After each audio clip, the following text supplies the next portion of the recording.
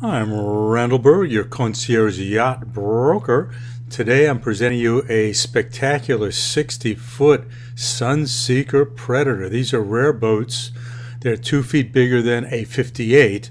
And what this gives you is a much bigger swim step for boarding the boat, for water toys, or just putting a little table and chair in the back and enjoying the sunset. The, these are incredibly fast, exotic, beautifully designed boats, English built with big engines made to go fast, handle great in most any weather and sea condition. And they're set up for fun in the sun with an aft pad and a forward pad and lots of room in the cockpit for guests. It's really a big express boat, but with the amenities of a speedboat. And as you can see, it's got a barbecue and an ice maker, refrigerator in the cockpit. The seating is wonderful. There's two or three at the helm. There's seating behind the helm. It's got a great electronics package. As you can see, everything is there, including bow thruster and GPS and radar.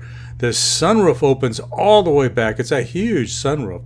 Then in the interior, it's beautiful wood, great upholstery, six foot two headroom, big, roomy space for your guests. This has removable bolster seats around the dining table. And here's your galley with under the counter refrigerator and freezer. And then the master has a queen, a three quarter queen, and you can get around it to set up the soft goods. It's got a nice dressing table there and access to the head. It's got vacuum flush head in the two heads on board.